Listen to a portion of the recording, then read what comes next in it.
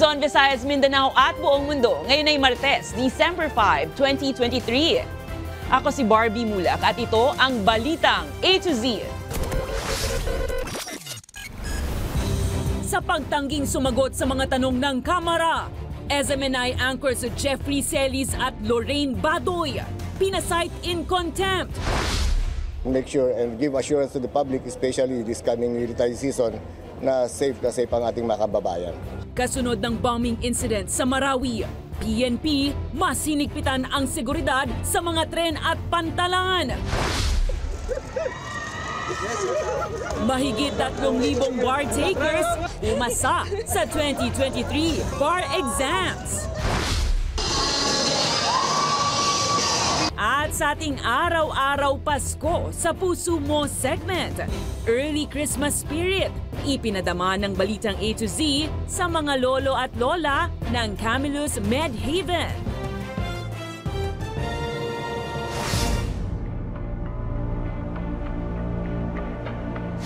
Magandang gabi, pambungad sa ating newscast. Ayaw pangalanan ang source ng SMNI anchor na si Jeffrey K. Eric Celis nang tanungin kung saan galing ang impormasyon sa umano'y bilyong pisong ginasta ng Office of the House Speaker sa international travel nito. Dahil dyan, pinasight in contempt si Celis kasama na rin ang co-anchor nitong si Lorraine Badoy. Samantala, nagisa rin sa komite sa Kongreso ang SMNI officials dahil naman sa umano'y reklamo at posibleng mga paglabag sa prangkisa. Narito ang ating balitang A to Z.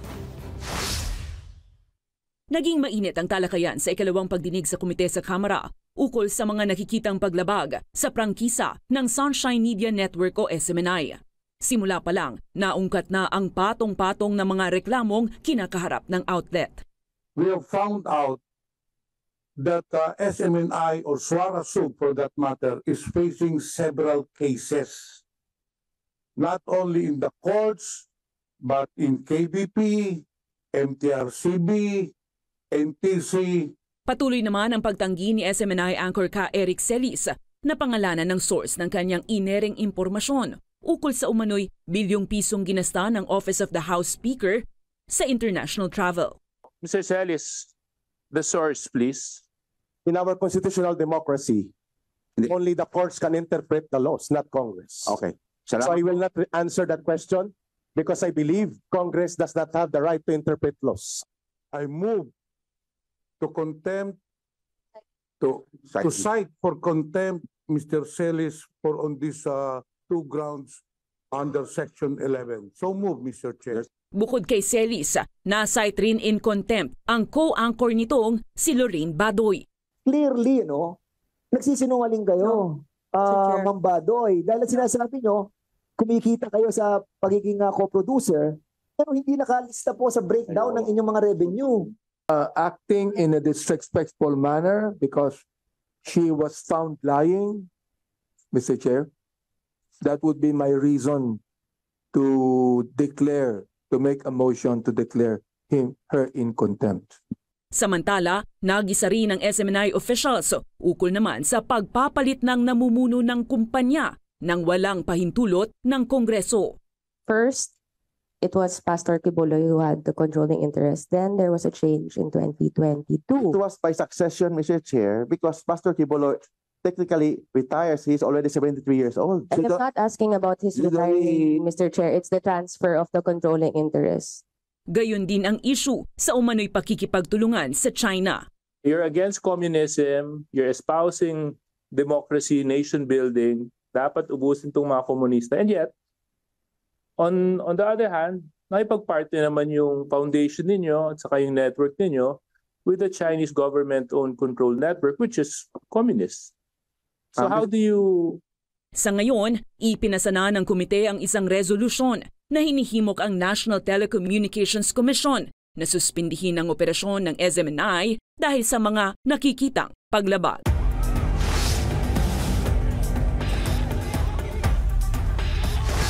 Nagsasagawa na ng investigasyon ng AFP ukol sa umano'y failure of intelligence kung bakit nangyari ang pagsabog sa Marawi City nitong linggo. Ang PNP naman nag-ikot sa mga pampublikong lugar para sa mas pinaigting na seguridad sa Metro Manila. May balitang A to Z si Kim Salinas.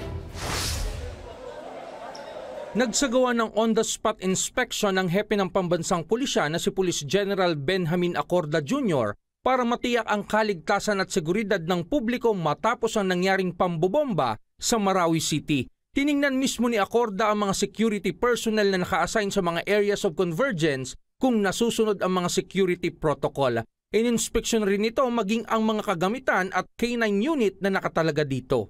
I just want to make it sure na yung ating kapulisan na andyan and uh, the proper uh, security measures at saka inspection is being done. Uh, some sort of uh, emphasizing lang na dapat uh, pag-itingin yung uh, pagbabantay ng ating mga kapulisan sa seguridad ng ating mga kababayan. Sumakay rin mismo si Chief PNP sa tren ng LRT at kinumusta ang mga pasahero nito. May hamon din siya sa mga police commander. I urge all commanders uh, on the ground uh, to make sure uh, get out of your comfort zone and uh, uh, see for themselves the deployment of our police officers and make sure and give assurance to the public, especially this coming military season, na safe na safe ang ating mga kababayan. Ayon kay Acorda, asahan pa ang patuloy na pag inspeksyon sa mga susunod na araw sa iba't ibang lugar sa Metro Manila para matiyak ang ligtas na holiday season. Samantala, nagsasagawa na ngayon ng investigasyon ng Armed Forces of the Philippines sa umano'y failure of intelligence kung bakit nangyari ang pambobomba sa Mindanao State University. Ayon sa tagapagsalita ng AFP na si Colonel Medel Aguilar, mayroon ng kumakalat na babala sa text message ukol sa mangyayaring pag-atake gabi pa lamang bago ang insidente. Sa pagkalat po ng sinasabing text messages, I'm sure this will be covered by the investigation that is being conducted now. So we can we just wait to the result or the conclusion of this uh, investigation for us to answer uh, the succeeding question na kung mayroon bang failure of, of uh, intelligence or not. Aminado ang opisyal na kahit saang banda tingnan ay talagang nakalusot ang terorista at nagtagumpay ang pagpapasabog. Still, we have to know the accountability of people if there was indeed a failure of intelligence or failure on the part of uh, any part of the organization to perform their job to, to ensure that uh, to, to prevent this kind of situation. Tukoy na ng AFP ang nagpasabog sa MSU noong linggo ng umaga na ikinasawi ng apat na katao at nagdulot ng maraming sugatan. Pero tumanggi muna ang militar na tukuyin ang pagkakakilanlan ng mga ito. Kung dalawa na ito ay uh, pinaghahanap at pinapinawalaan na sila po ay kasapi o remnant ng isang local terrorist group na alam naman natin nag-operate doon po sa area na yon. Sa huli, tuloy naman ang koordinasyon ng otoridad sa pamunuan ng MSU. We already give my assurance to the uh, uh, students in uh, MSU na we will be supporting their uh, or will be ensuring their safety. We augmented the security force there in the area para makonbinsi po yung mga, mga magulang na safe na po yung uh, Mindanao State University and uh, uh, mabalik na sa normal. Lalo ngayon, examination week. Para sa Balitang A to Z, Kim Salinas. Kaugnay pa rin ng pambobomba sa Marawi City noong linggo, itinaas na ng Philippine Coast Guard sa heightened alert status ang lahat ng pantalan sa bansa. Ayon kay Coast Guard spokesperson Rear Admiral Armand Balilo, nagdagdag na sila ng tauhan upang bantayan ang lahat ng Coast Guard district, station at substation sa bansa para matiyak ang kaligtasan ng mga pasahero. Dagdag nito, nakikipag-ugnayan na sila sa Philippine Ports Authority, AFP at PNP para magkaroon din ng dagdag puwersa lalo na ngayong paparating na holiday season. Pagamat wala pong uh, tayong namamonitor na threat, hindi po tayo nagpapakampante at uh, naglalagay po tayo ng mga tamang measures para hindi po makalusot yung mga uh, banta ng terorista sa ating uh, hanay. Hinihikayat naman ni Lanao del Sur 1st District Representative Zia Alonto Adyong ang pamahalaan na siya sa atin kung paano ginagamit ang Intel funds kasunod nga ng nangyaring pagsabog sa Mindanao State University sa Marawi City. Ayon sa mga babatas, kung nagagamit lang ng maayos ang Intel intelligence funds ng mga ahensyang nakatutok sa seguridad, ay hindi sana mangyayari ang pagsabog. Dagdag nito, posibleng nakaapekto rin daw ang natenggang rehabilitasyon ng Marawi City sa nangyaring pag-atake. I think this is a perfect time for the country to really, really, really revisit no? Uh, what are the things uh, that are being done uh, by using these intelligence funds. By delaying the Marawi rehabilitation, it actually paves a fertile ground for Yes. violent extremism to grow. That's why our position really is to prioritize Marawi rehabilitation because it is well connected with our national security concern. Sa iba pang balita, suportado ng Armed Forces of the Philippines ang plano ng gobyerno na magkaroon ng peace talks sa National Democratic Front of the Philippines. Ayon sa AFP, nakalinya ito sa matagal ng kampanya ng militar para wakasan na ang problema laban sa NDFP. Maaalalang tutol si Vice President Sara Duterte sa pakikipag-usap sa NDFP at hinihikayat ang Pangulo na busisiin ang kasunduan dito ng gobyerno sa pagbubukas muli ng peace talks. This statement actually provides the vision, which is about ending um, armed struggle and uh, transformation of the CPP, NPA, NDF. Now, when you talk about ending armed struggle, it is actually the end state or the direction of our campaign plan. Because uh, what we want here is uh, we have to stop or uh, we want uh, the CPP, NPA, NDF to abandon armed struggle.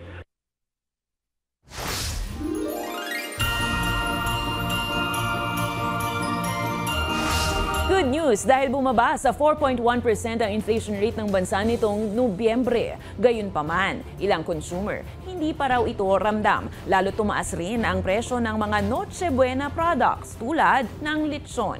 May balitang A to Z si Ace Cruz. Tumaas na ng 1,000 pesos ang presyo ng kada isang buong lechong baboy sa Laloma sa Quezon City. Kasi mahal ngayon ng ano, asukal, mahal ng sibuyas, mahal ng bawang, nakaraan taon mababa. Pero ayon sa mga vendors dito, hindi naman daw talo ang consumer sa itinitinda nilang lechong baboy na nasa 8,500 pesos na ang presyo. Mas maraming malalaki binibili. Okay, bakit daw? Mas panalo sila pag malaki. Kung maraming papakainin, mga 50, sanda, malak-malaki binibili nila. Bagamat tumaas ang presyo ngayong taon, may mangilan-ngilan ding maaga na bumibili nito. Maaga na tayo para hindi tayo sumabay sa ano sa rush hour. Wala ka na mabili kasi pagka late ka na. May siguro nakakatipid tayo ng 1,000 to 2,000. Karamihan sa ating mga kababayan, aminadong magdaragdag ng budget ngayong taon dahil Pasko naman daw. konting handa, konting celebrate. Basta may konting ano lang sa mesa. Oo, hindi na totally na ma- garbo-garbo pa. Ano na ngayon, medyo, medyo tipid na ngayon. Habang papalapit ang Kapaskuhan, inasang tataas ng 500 pesos ang presyo ng kada isang buong lechon. Gayunman, una nang sinabi ng DTI na nasa kamay pa rin ng consumers kung papaano makakatipid sa kaliwat ka ng gastusin ngayong holiday season. Kaugnay niyan, lumabas sa datos ng Philippine Statistics Authority na hindi pa gaano nakaapekto ang pagtaas ng lagpas 150 Noche Buena products kamakailan sa inflation rate ng ating bansa. may nakita kaming ah, increases ah, pero ang effect niya sa ating ah, inflation no ah, ay minimal Ah, dahil ah, as I've mentioned ah, may mga items talaga tayo na malala- matataas yung weights and ah, ito yung critical na mga items like bigas, ah, vegetable, fish, meat, ah, of course transport to. So nagkaroon tayo ng ah, paggalaw sa mga presyo na to at karamihan dito actually bumaba. Senatala kasi inflation rate ng PSA nitong Nobyembre, bumaba ito sa 4.1% kumpara sa netala noong Oktubre na 4.9%. ang nag-ambag ng malaki sa pagbaba ng inflation ng food and non-alcoholic beverages ay ang pagbagsak ng presyo ng vegetables, tubers, cooking bananas at iba pa na may negative 2.0% inflation. Ayon naman sa National Economic and Development Authority o NEDA, ang November inflation ang pinakamababa na naitala sa huling 20 buwan o magmula noong March 2022. Gayunman, nananatiling nasa 6.2% ang year-to-date inflation ng bansa na lagpas pa rin sa target na 2 hanggang 4% ng pamahalaan. Para sa Balitang A to Z, Ace Cruz. Kinumpirma ng DOH na mayroong mabagal na pagtaas ng kaso ng COVID-19 sa bansa habang papalapit ang Kapaskuhan. May balitang A to Z, si Billy Torres. Kinumpirma ng Malacanang na muling nagpositibo sa COVID-19 si Pangulong Ferdinand Marcos Jr. Ito na ang ikatlong beses na tinamaan ng COVID ang Pangulo, una noong 2020 at noong 2022. Sa kabila ng sakit, tuloy pa rin ang trabaho ng Pangulo pero sa isolation. Sa katunayan, nilagdaan ito ang panukalang Public-Private Partnership Code of the Philippines at Internet Transaction Act of 2023 habang patuloy rin ang meeting nito pero gagawin naman online. Ganito rin ang sitwasyon ngayon ni Pasig City Mayor Vico Soto matapos makumpirmang positibo rin sa COVID-19. Kaya naman hinikayat ng alkalde ang publiko na magsuot ng face mask. Sa harap nito, kinumpirma ng Department of Health na mayroong mabagal na pagtaas ng naturang sakit sa mga ospital. Pangkalahatan po, ah, mabagal na tumataas at ang tinitingnan naman natin dito ay kung ito ay dahilan sa mga bagong variant of interest na nireport ng World Health Organization. Meron pa rin tayong COVID sa ating bansa. Katunayan, tuloy-tuloy ang pagmamonitor natin yan at nagbibigay kami ng regular na report. Sa kabila nito, pinawi naman ng ahensya ang pangambang magtaas ng alerto. Wala pa namang kaming hakbangin na magbigay ng napakalaking ah, alerto na mag-ingat po lahat at magkaroon ng mga mandatory masking sapagkat itong inaasahan natin lalo na ay wala na tayong restriction at maraming lumalabas na sapagkat ah, kapaskuhan at ah, marami talaga ang nagkakaroon ng ah, pakikipag-ugnayan sa maraming tao. Samantala, nilinaw ni PHP President Dr. Jose Rene de Grano na hindi pa dapat ikaalarma ang walking pneumonia mula sa China. may instruction po ng Department of Health kung ano ang dapat natin gawin. Ganun na rin naman po eh. So far, sa report po ng latest report po, parang wala pa naman po kaming uh, babanggit do ang Department of Health na meron na sila mga kaso niyan. Habang payo pa rin ng DOH sa publiko na bantayan ang sarili sa mga sintomas ng COVID-19 at agad na magpates para maiwasan ang pagkalat ng sakit. Para sa Balitang A to Z, Billy Torres. Bumuhos ang luha ng pasasalamat at kaligayahan sa tanggapan ng Korte Suprema ngayong araw nang ianunsyo ang listahan ng mga pumasa sa 2023 bar exams. Ang mga tears of joy sa likod ng tagumpay bilang ngayoy ganap ng mga abogado. Alamin sa Balitang A to Z ni Ian Maghanoy. Congratulations! You made! Hindi mapigilan ni Ryan na mapaluhod at umiyak sa saya sa tanggapan ng Korte Suprema sa Manila City kaninang hapon nang malamang kasama siya sa mga pumasa sa 2023 bar exams. Ang kanyang pagpasa bilang ganap na abogado alay raw niya sa kanyang mga magulang na overseas Filipino workers na ginapang ang kanyang pag-aaral sa Philippine Law School.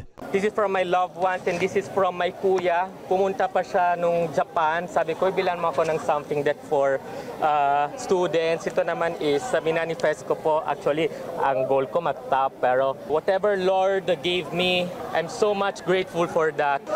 Attorney Rodinel Regas-Pireya! Si Rogenel naman, napayakap na lang sa kanyang tatay nang marinig na siya ay pumasa. Abot langit ang pasasalamat ng Reyes family sa Maykapal, lalo't katuparan ito ng pangarap hindi lang ni Rogenel, kundi ng kanilang buong pamilya. This is a childhood dream. I think 10 years ago, I somehow manifested na be a lawyer and a CPA after 10 years and na Si Sara naman, na dating kasintahan ni Rogenel, halatang kinikilig-kilig pa. Bagamat hindi na sila magkasintahan, masaya sila para sa isa't isa na sabay nangarap, nag-aral at ngayon ay pumasa bilang ganap ng mga abogado. I think ito yung culmination ng paghihirap namin. Eh. So it's really worth the wait. Sabi nga nila, worth, uh, whatever is worth, whatever is worth having is worth the wait. So yan. Ilan lang sina Ryan at ang dating magkasintahan na sina Sara at Roginel sa mahigit 3,000 mga pinalad na makapasa sa mahigit 10,000 kumuha ng 2023 bar exams. Yes, you have passed these 2023 bar examinations, but this is only the beginning of your professional life, and you are going to be expected to be full adherence to the rule of law. Nagmula sa University of Santo Tomas ang top-notcher na kinilalang si Efraim Pornicun Culabi na may rating na 89.26%. Sinundan siya ng top 2 na si Mark Jose Padua Vivet mula sa Ateneo University at ng pumangatlo na si Frances Camille Altonaga Francisco ng San Beda University. Sa mahigit 10,000 kandidato na kumuha ng tatlong araw na exams noong Setyembre, mahigit 36% lang ang nakapasa. Mas mababa ito kumpara sa 43.47% ng passing rate noong nakaraang taon. Pero ayon sa Korte Suprema, Yung 36.77 is just enough. It's reasonable. And uh, objectively, it's a good number. And pati yung top 20 is representative of law schools, no? It's varied. Kita niyo naman, iba-ibang law school.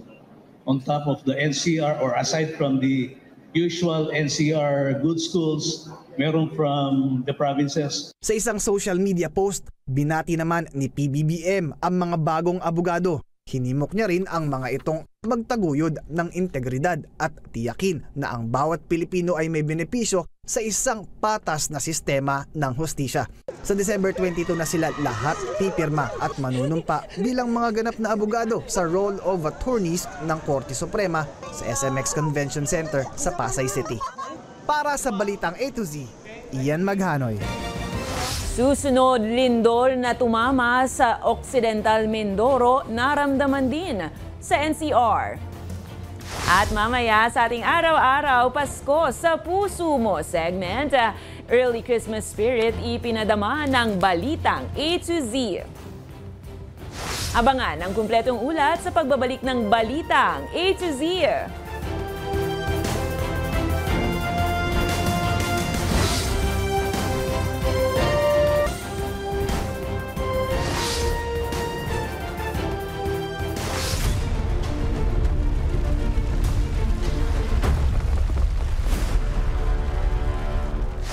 Mga ka-A to Z, naramdaman niyo ba ang malakas na lindol kanina? Isang magnitude 5.9 na lindol sa lubang Occidental Mindoro ang tumama mag-aalas 4.30 ng hapon. Naramdaman ang pagyanig hanggang dito sa Metro Manila kung saan pinalikas ang ilang mga empleyado at estudyante mula sa mga gusali. Maging ang Kamara at Senado nag-evacuate panandali. Sa LRT at MRT lines naman, pinag-dock, cover and hold ang mga pasahero at pansamantalang pinaupo. Agad namang nagbalik operasyon ang mga linya ng tren matapos makitang walang damage ang infrastruktura at mga riles ng transportasyon. Sa ngayon, wala rin pang naitatalang bitako damage sa mga kabahayan o gusali. Inanunsyo ng Isabela Provincial Disaster Risk Reduction and Management Office na natagpuan na ang nawawalang eroplano sa lalawigan. Ayon sa ahensya, positibong kinilala ng pilotong si Captain Vince Velasco ng R-44 helicopter ng Philippine Air Force. Nagkasama sa search and rescue team ang wreckage ng nawawalang Piper plane na PA-32300.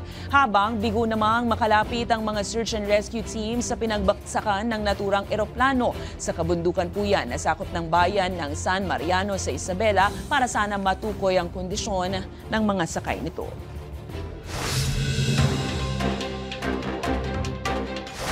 Isinusulong ni Surigao del Norte Representative Robert A. Barbers na magkaroon ng death penalty ang mga dayuhang sangkot sa illegal na droga sa bansa. Ayon kay Barbers, marapat lamang na magkaroon ng parusang bitay upang mawakasan na ang illegal drug trade at magkaroon ng takot ang mga dayuhan na gumamit ng ipinagbabawal na gamot.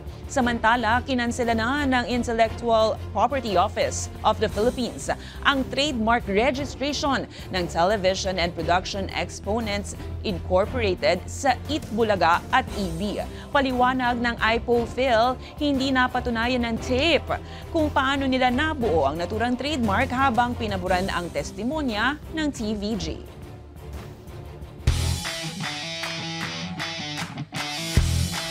Dalawa sa mahuhusay na atleta ng Pilipinas ang binigyang pagkilala ng Siklab Youth Awards. Sa ilalim yan ng Philippine Sports Commission at ng Philippine Olympic Committee Media Group sa Tagig nitong lunes ng gabi. Kabilang dito ang Filipino tennis star player na si Alex Ayala, bagamat hindi nakadalo sa naturang parangal ay ipinaabot naman sa mga organizers ang natamong pagkilala. Kasama rin ang world number 2 Pinoy pole vaulter na si EJ Obiena na ginawaran naman ng Sports Idol Award. Ang mga magulang ni EJ na sina Enerson at Janet ang tumanggap ng naturang recognition. Si Ihala at Obiana at 61 atleta pa na nagbigay karangalan sa bansa ang binigyan ng pagkilala ng Siklab. Sa aming pagbabalik sa ating araw-araw Pasko sa Puso Mo segment, Early Christmas Spirit ipinadama ng Balitang A to Z sa mga lolo at lola ng Camillus Medhaven. Manatiling nakatutok, kayo ay nanonood ng Balitang A to Z.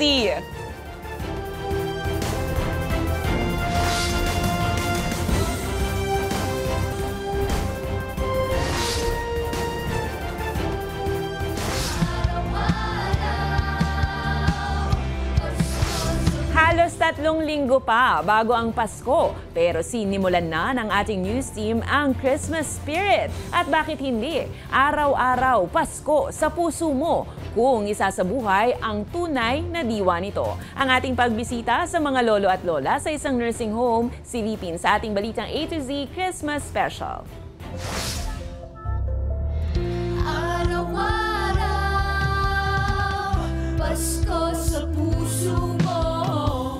Maagang Christmas ang pinadama ng Balitang A to Z sa mga residente ng Camillus Medhaven Nursing Home sa Marikina City.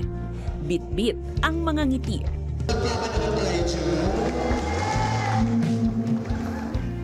Ang king talento sa pag-awit,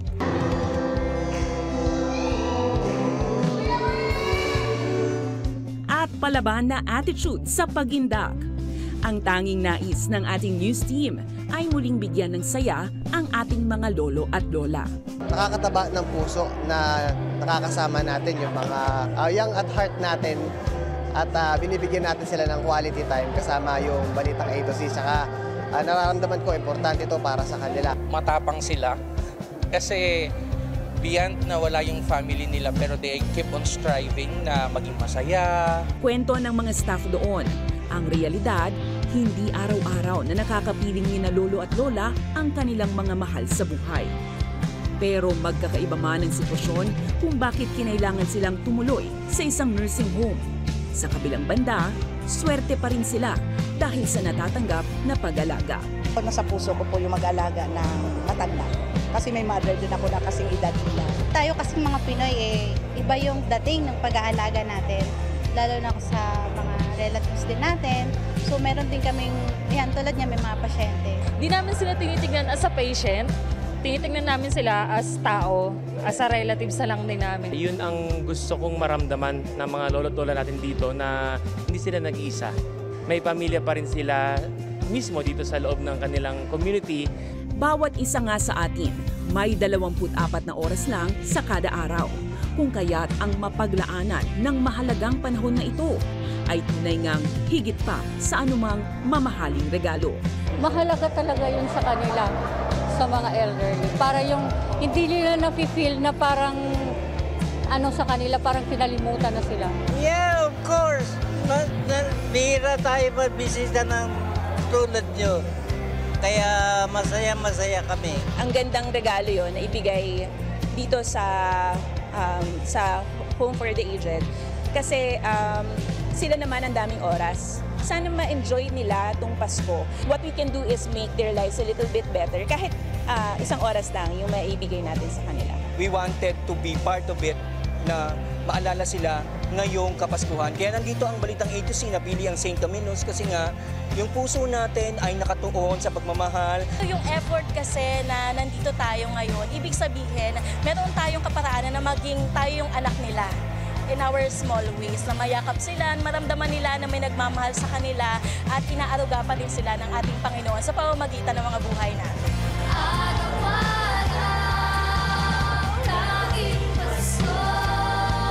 Isang beses lang sa isang taon ang mismong Pasko. Pero ang totoo, araw-araw pwedeng isabuhay ang diwa nito. Araw-araw, Pasko sa puso mo. Kung kayo ay may kwentong kakaiba, mga kwento ng pag-ibig, storya ng inspirasyon at pag-asa, maaari niyo itong ibahagi. Sumali sa ating Facebook group na Balitang A to Z. Panoorin ang replay ng ating programa at sundan ang ating social media pages. Hanapin ang Balitang A to Z. Ang ating pabaong quote of the night ay mula sa kolumnista at Doctor of Anthropology na si Antonio Montalvan II. Ayon sa kanya, ang pangre-red tag ay hindi kailanman bahagi ng demokrasya. At yan ang mga balita at impormasyon, mga kwentong may dalang inspirasyon na tinutukan ng balitang A to Z.